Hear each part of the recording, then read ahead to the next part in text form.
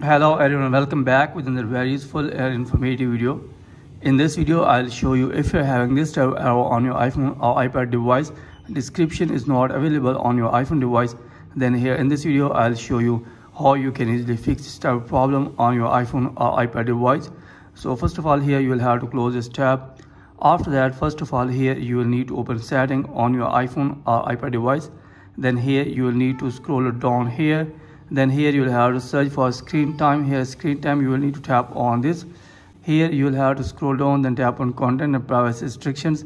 So after that make sure that this toggle is disabled from here. Then after that go back. Again open setting on your iphone device.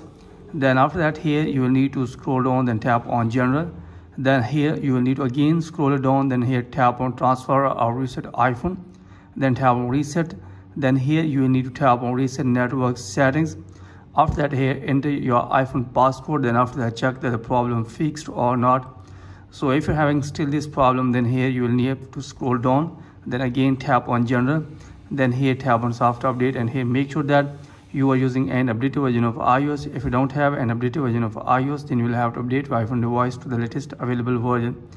So after that here you will have to make sure that you are not connected with any VPN. If you're connected with VPN, then here you'll have to disconnect with VPN.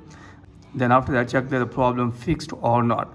So if you're having still this problem, again open setting, then scroll down all the way, then tap on transfer or reset iPhone, then tap on reset. Then here you will need to tap on reset all settings. After that, here you will need to enter your iPhone passcode. Then here you will have to close this tab.